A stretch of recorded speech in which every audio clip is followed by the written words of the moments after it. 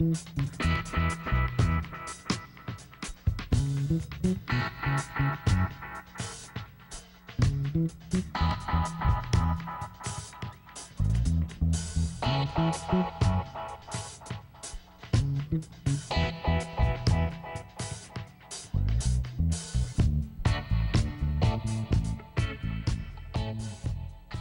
Hola, ¿qué tal? Muy buenas tardes. Bienvenidos a su programa Escudriñando la Historia. Yo soy Alejandro Sevilla y es un placer nuevamente estar en esta, en esta serie de programas.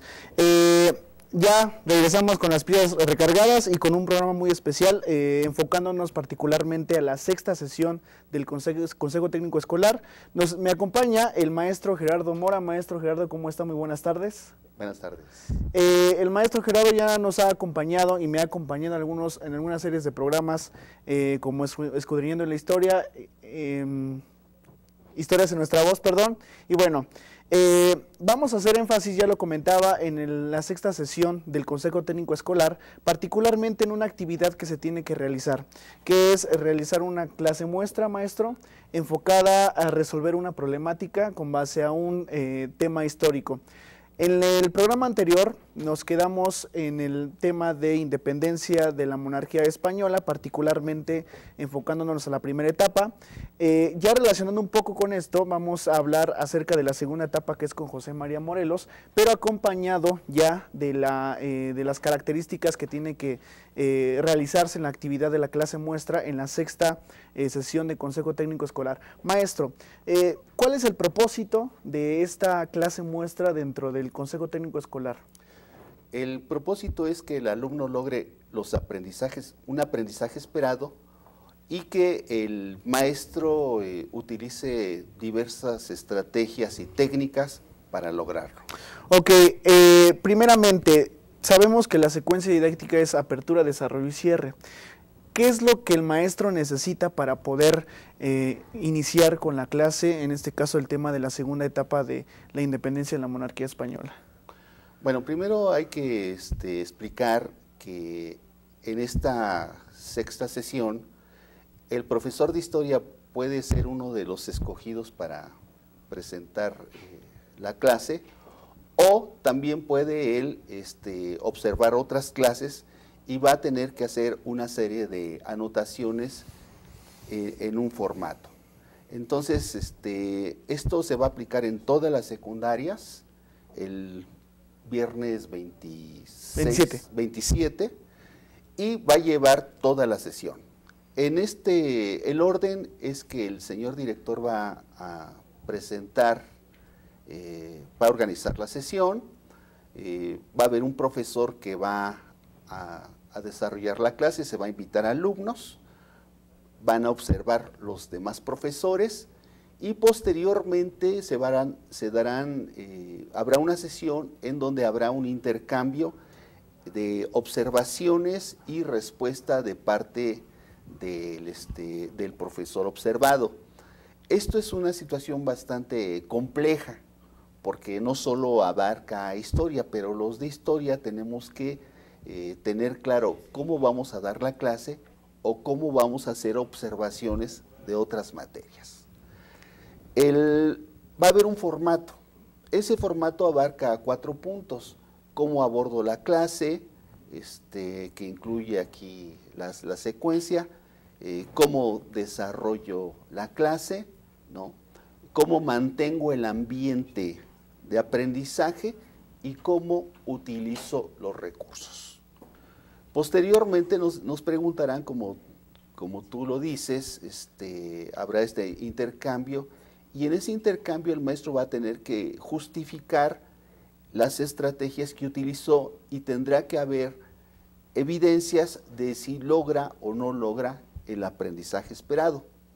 Afortunadamente nosotros en nuestras prácticas y con nuestros practicantes eh, lo, estamos, lo estamos realizando. Pero es algo que tenemos que decirle al profesor que es complejo y que tiene que ser muy cuidadoso eh, al, dar sus observaciones. Entonces, volviendo al punto que tú dices, eh, toda secuencia didáctica requiere una planeación. Entonces, esta clase que se va a dar, si le toca a un maestro de historia, tiene que tener una, una, una planificación donde involucre esta apertura. ¿no? En esta apertura el maestro va a recuperar los conocimientos previos del alumno. En el caso nuestro de Morelos, pues para empezar, este, el personaje, ¿no? El, personaje que es uno de los más importantes del movimiento de independencia y que de cierta forma eh, hay una representación a través de películas, a través de ceremonias, a través de los medios de comunicación o de las propias ceremonias escolares, en donde el alumno ya tiene un cierto conocimiento de quién es Morelos y tendremos que hacer una actividad de apertura en donde el alumno presente estos conocimientos previos. Pero, eh, vuelvo al punto, una clase, esta clase la va a tener que planificar, va a tener que hacer su planificación. En esa planificación incluimos un diagnóstico del grupo. Un diagnóstico para detectar cuáles son los, las barreras de aprendizaje, cuáles son los problemas de aprendizaje, eh, cómo acercarnos, al, cómo acercar el tema al grupo. Entonces, número uno, necesita una planificación, con un diagnóstico del grupo. En segundo lugar, necesita establecer el conocimiento previo, este, cómo, cómo, cómo va a evaluar el avance del conocimiento previo al aprendizaje esperado. Entonces tiene que establecer una rúbrica. En esta rúbrica tiene que tener tres elementos. El primer elemento es si el alumno, con qué conocimientos, con qué evidencia el alumno logra el aprendizaje esperado. Entonces, si yo voy a hablar eh, de Morelos, de esta segunda etapa del movimiento de independencia, pues entonces estoy hablando de un proceso histórico, un proceso histórico que tiene un inicio, un eh, desenlace y que tiene unas consecuencias. ¿Cuál es el inicio? El inicio es eh, la, derrota de, Hidalgo, la muerte de Hidalgo, ¿no? que traspasó el liderazgo de esta segunda etapa a, Morelos, ¿no? Y Morelos, eh, con un conocimiento militar un poco más, más amplio, en, una, en, otra zona, eh, ya no es el Bajío, sino él, se desarrolla más en, el sur, en el sur ¿no? Este, con otro tipo de, acompañantes, ya políticos, este, y ya con una este, contrainsurgencia muy organizada, que incluso lo llevan a, los sitian en, Cuautla en un acontecimiento muy famoso, del cual él logra eh, evadir, pero que también muestra eh, la crisis que hubo entre los, propios insurgentes, ¿no? Porque aquí ya eh, los insurgentes tuvieron que manifestar un ideario político-social, ¿no? Al principio con Hidalgo era simplemente una situación que fue provocada eh, por la invasión napoleónica a España, pero ya ahora este, ya el proceso es diferente y ya no solo es un problema de la autonomía que, surgió de inmediato a partir de, este, de, la invasión napoleónica, sino ya es la lucha por la independencia, ya es eh, eh, incluir aspectos sociales este, relacionados con las castas, los indígenas, las formas de gobierno. ¿no? Entonces, Aquí vamos a trabajar un, diagrama proceso donde manifestemos cuál es el inicio, que es la, muerte de Hidalgo y la sucesión, cuál es el desarrollo que es este ejército liberador político este, y sus, manifestaciones políticas y sociales, y eh, las consecuencias que tuvo eh, la derrota militar de Morelos. Puede ser un paréntesis. Cabe resaltar que para eh, la sexta sesión del Consejo Técnico Escolar faltan más o menos 15 días. Entonces, este es un material muy importante porque es aterrizar un tema histórico, resolver una problemática a raíz de lo que pide la guía de la sexta, eh, sexta sesión. Entonces, maestro, volviendo, el diagrama proceso, ¿cuál es el, propósito del diagrama proceso? El diagrama proceso es el, es el desarrollo. El diagrama proceso está dividido en tres partes. Un inicio. Que es la trama. ¿Qué pasó a la muerte de, Hidalgo? Un desenlace que es el surgimiento de Morelos como el líder político-militar de esta segunda etapa y ya una etapa con claramente buscando la independencia a partir de las fuerzas sociales representadas por castas e indígenas, ¿no? Y el, este, las consecuencias, ¿no? Las consecuencias de, esta segunda etapa, que fue la derrota de, de Morelos. Entonces son tres partes. El aprendizaje esperado es que el alumno pueda decirnos estas tres partes, ¿no? Cómo inicia, cómo eh, se desarrolla y cómo culmina. Esto nosotros lo hacemos en el cierre, ¿no? En el cierre, cuando le pedimos al, alumno que en función del esquema que elaboramos en la clase, él nos responda esta, esta pregunta. Entonces tiene que haber una evidencia esa evidencia es la respuesta escrita que nos va a dar a la pregunta de cómo fue la segunda etapa de la independencia.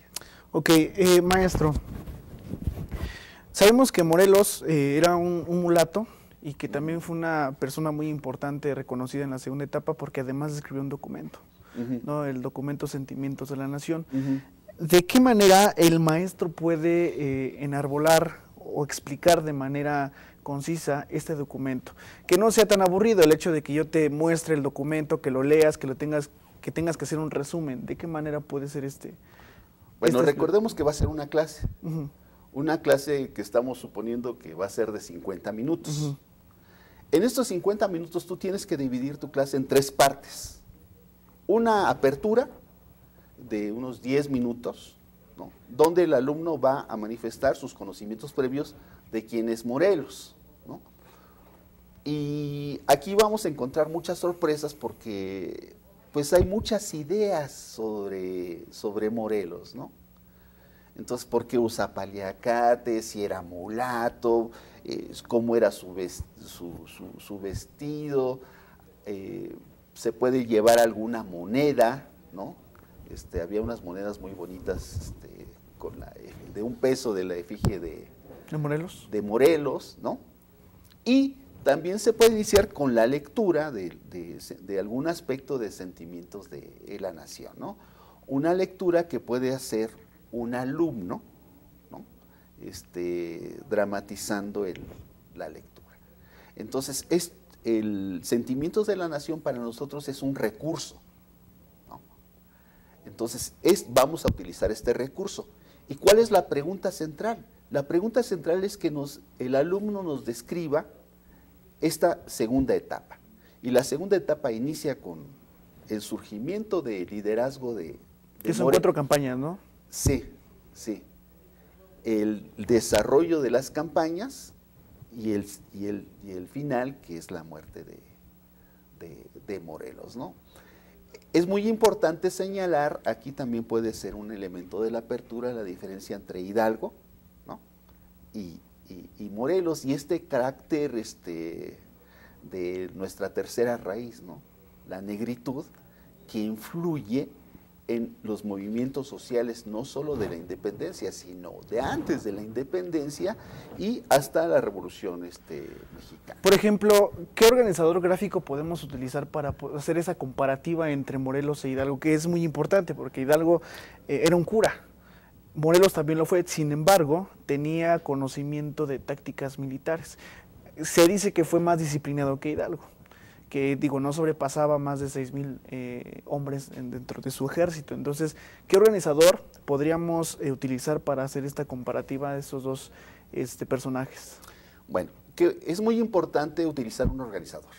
O sea, el, producto que va a tener el, el alumno de la exposición va a ser el organizador. Aquí tenemos el llamado diagrama proceso. El diagrama proceso son tres cuadros consecutivos. El primer cuadro se intitula inicio, ¿cómo comenzó? Aquí viene esa diferencia entre Hidalgo y Morelos.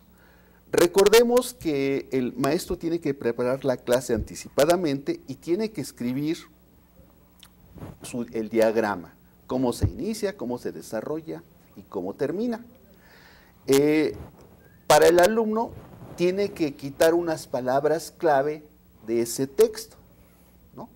Entonces, el material que va, que va a contar el alumno es el, diagrama, ¿no? sin las palabras clave, y en el transcurso del, desarrollo las va a ir apuntando. Y este esquema viene precedido por la pregunta, ¿cómo fue la segunda etapa de la independencia? Y vienen los espacios para que este, se conteste. Aquí vamos al punto otra vez de la rúbrica. Entonces, vamos a decir, si el alumno me señala las etapas correctas de este, en un párrafo de esta segunda etapa, él logró el aprendizaje esperado. Aquí también tenemos que ser cuidadosos porque sabemos que no, los alumnos no, tienen algunos problemas de, redacción, pero pueden saber la respuesta. Eso lo vamos a ver en el cierre. El cierre vamos a tener 10, 15 minutos para socializar las respuestas escritas, para corregir, para que el alumno tenga la oportunidad de anotar nuevamente algún aspecto que, le haya faltado. Entonces, nuestra clase tiene que tener la apertura, donde podemos incluso presentar dos, dos, este, dos, dos imágenes, una de Morelos y otra de Hidalgo. Incluso en las monedas es posible ver esta, este, esta, esta, diferencia porque sí existe mucha diferencia entre, entre estos líderes. ¿no? Y eso determinó también las, la, cada etapa. Eh, como sacerdotes no eran militares. Hidalgo tenía una formación más vinculada con la ilustración, más eh, vinculada con el clero, en tanto que este, Morelos tenía una vinculación más popular, más social. Y esto se mostró mucho en, las características de la segunda etapa. Entonces, respondiendo a tu pregunta, aperturo presentando las diferencias entre Hidalgo y, Morelos, el, mi alumno va, va a tener este, su esquema, se puede utilizar otro esquema, no sé si nos dé tiempo de, por ejemplo, trabajar el esquema eh, aquí en este programa, trabajar con el esquema acontecimiento que tú también conoces, puede ser cualquiera de los dos. El esquema acontecimiento tiene una ubicación espacial y temporal, tiene antecedentes, tiene personajes, tiene una cronología y tiene consecuencias. Así es. ¿no? Entonces, eh, nosotros aconsejamos que eh, la evidencia del aprendizaje sea un esquema con la respuesta eh, a la pregunta. ¿Cuál sería el recurso evaluativo para el maestro? ¿Únicamente podría ser la pregunta al problema del esquema o puede ser otra cosa? Como te comenté, lo escrito es lo último y es una evidencia física muy importante, ¿no? porque ahí nos, nos vamos a dar cuenta de, las de, la, de, las, de los requerimientos del alumno. No todos saben redactar. No, no somos maestro español, pero tenemos que cuidar la redacción. ¿sí? Es un aspecto de evaluar la redacción. Pero sabemos que el alumno puede tener el conocimiento este, en la mente, no, no los puede declarar. Por eso en la sesión de cierre vamos a hacer que él participe, ¿no? porque también es uno de los elementos que se va a pedir en la lista de cotejo, que el alumno participe y pueda corregir y puede intercambiar y puede incluso hasta debatir. Por eso tenemos que tener nuestra apertura clara, nuestro cierre claro con tiempo, ¿no? 15 minutos, 10 minutos de apertura y los otros minutos para que el alumno este, comprenda, maneje la información, las palabras clave que va a ir en algún esquema. ¿no? Ok, dentro de los, ya comentaba usted al inicio algunos puntos que se tienen que evaluar.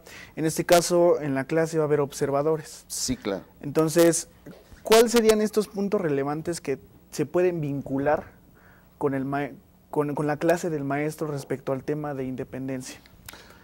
Bueno, eh, bueno, son dos preguntas. Primero, este, se le van a pedir al maestro que, que dé una clase con alumnos eh, reales, ¿no? este, los maestros van a estar atrás los observando y van a tener un formato. En ese formato se tocan cuatro aspectos. Cómo inicia la clase, ¿no? este, cómo desarrolla la clase, cómo mantiene un ambiente de aprendizaje y cómo utiliza los recursos.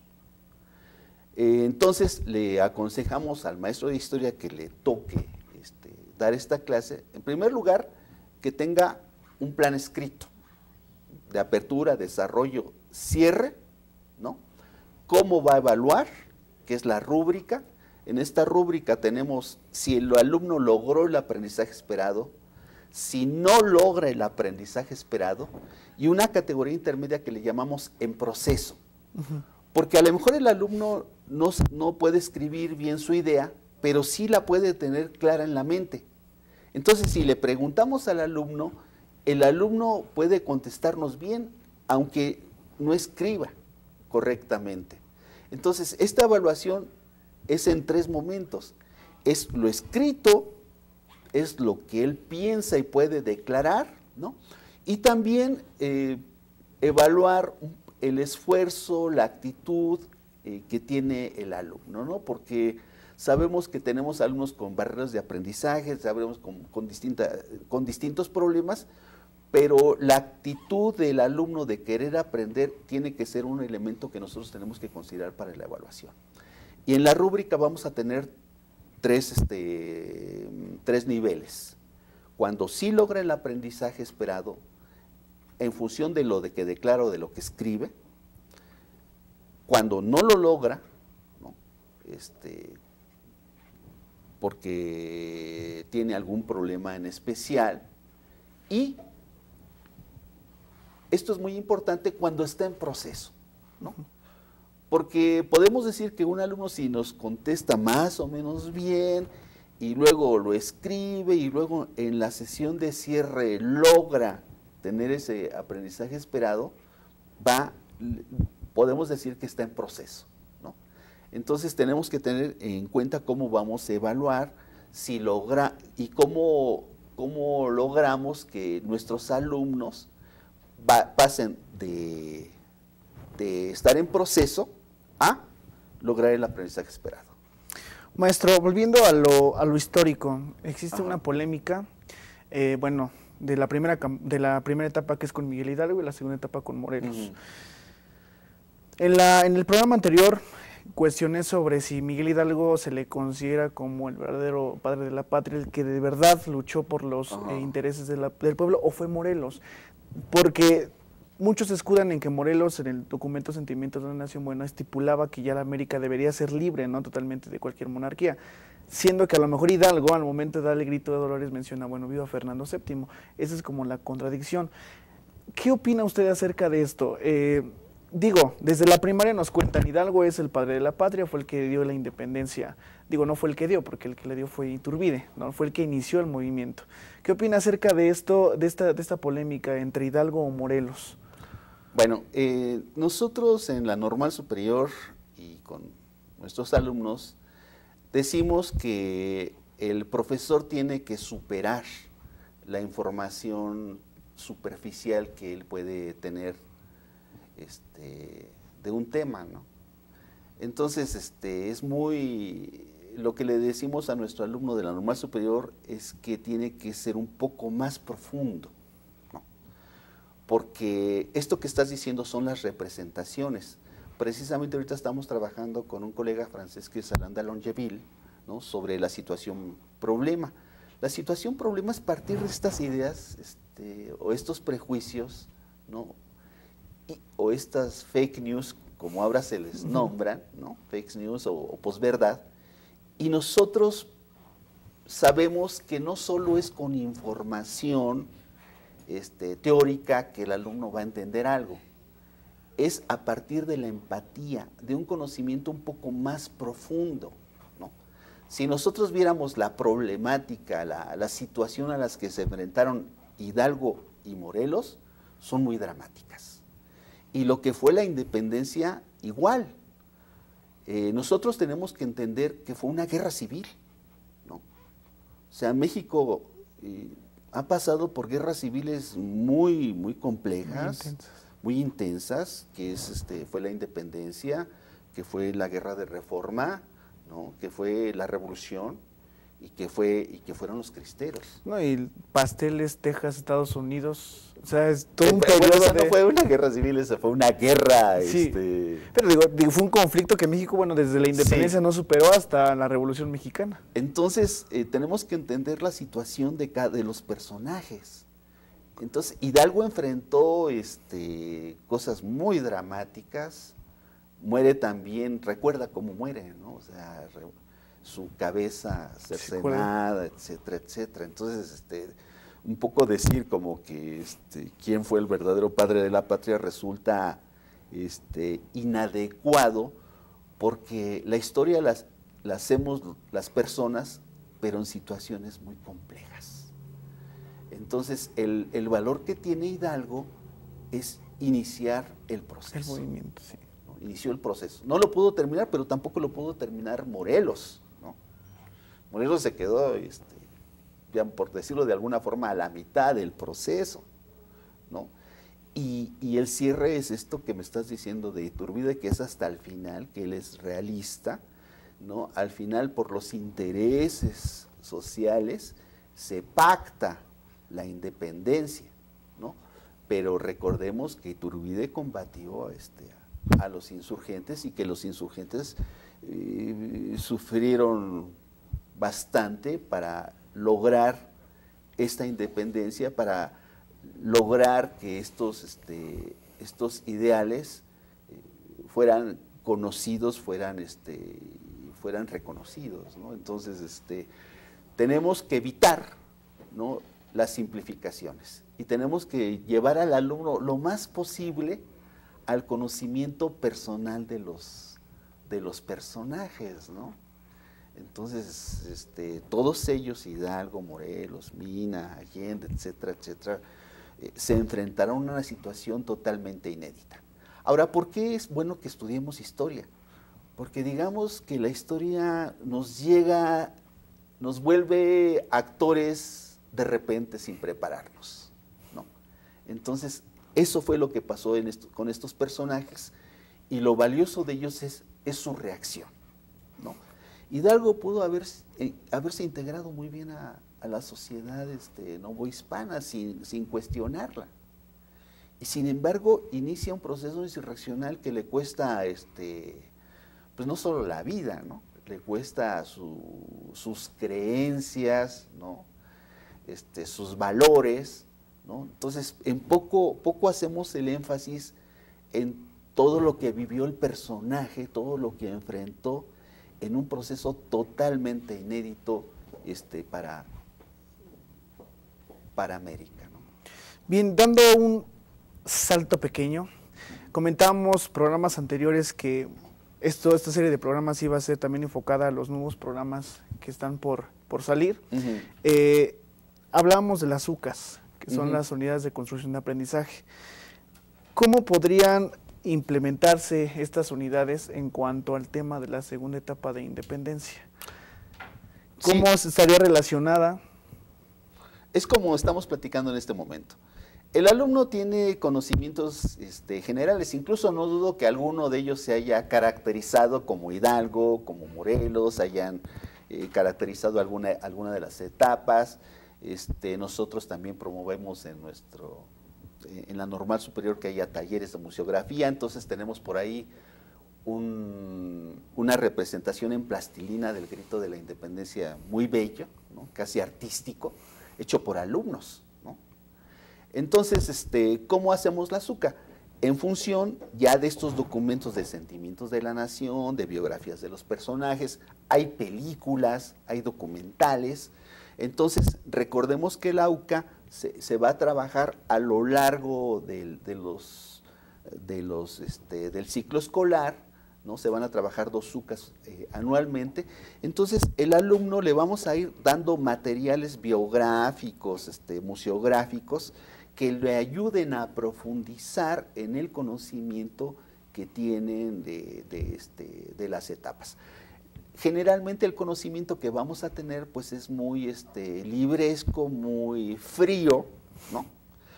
Pero ya cuando vemos imágenes de Hidalgo, por ejemplo, cómo es, porque conocemos este, las pinturas donde él es blanco, pelo, pelo este, muy arreglado, muy, muy bien vestido, ¿no? Y la única, digamos, imagen de la época que conocemos que está en el castillo de Chapultepec es completamente diferente. Muy diferente.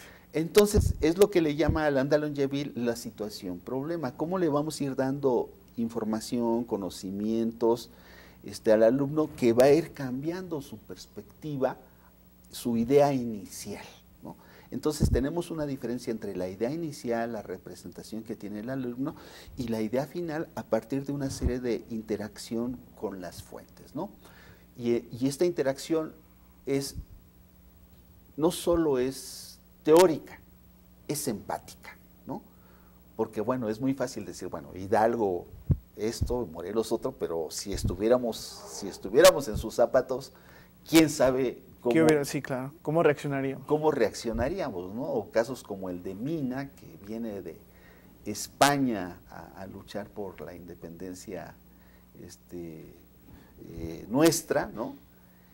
Y son cosas este, que superan las representaciones iniciales y nos muestran una sociedad más compleja como la que tenemos en este presente. El presente que estamos viviendo es complejo, no es blanco o es negro. Entonces la historia nos permite conocer esos matices, enriquecernos, valorar el pasado. Bien, maestro, bueno, ya el tiempo se nos está terminando. Cierro con esa pregunta. ¿Cómo describiría la segunda etapa de la independencia? Eh, bueno, es Primero tenemos que tener en cuenta lo que implicaba ser parte de la, de la monarquía española. Perdemos mucho eso de vista, ¿no? O sea, no, es, no nos independizamos de España en sentido estricto. Nos independizamos de la monarquía española. Y cuando la monarquía española cae en España, podemos decir que se independiza España también.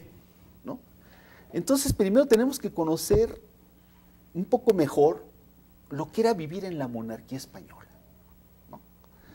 para valorar lo que implicó esta primera etapa, muy complicada porque eh, siguió un golpe de Estado que, se dio aquí en 1808, este, valorar eh, esta conspiración de, de la primera etapa. Esta segunda etapa es muy importante porque se radicaliza, ¿no? se vuelve más social. Antes era más elitista, más criolla. Ahora va a ser más de las castas, más de los indígenas, más popular. Un poco más organizada, pero vienen nuevos, nuevos problemas, no solo por el reforzamiento de los, este, de los realistas, eh, eh, cooptar a los antiguos insurgentes, sino también eh, por el hecho mismo de lo que implica ya una, la lucha por la independencia. Esta lucha por la independencia desafortunadamente terminó con la muerte de, Morelos. Y en una situación este, bastante eh, difícil, se prosiguió este, a la etapa de, las guerrillas, a la etapa de la consumación a partir de que los propios este, eh, los propios, las propias élites dominantes vieron que ya en, España no había posibilidad de, recuperación de la monarquía. Bueno, eh, agradezco mucho que nos hayan acompañado. Esto es Escudriñando la Historia. El maestro Gerardo Mora nos estará acompañando próximamente en otros dos programas más, hablando de la tercera y cuarta etapa de la independencia, siempre enfocando, enfocándonos en el programa eh, de estudios de historia y posteriormente también en los nuevos programas que van a eh, salir próximamente. Entonces, esta es una producción de DGS Media a cargo del licenciado Manuel Salgado Cuevas en colaboración con la Escuela Secundaria Técnica número 6. Maestro Gerardo Mora, muchas gracias por acompañarme. Hasta la próxima.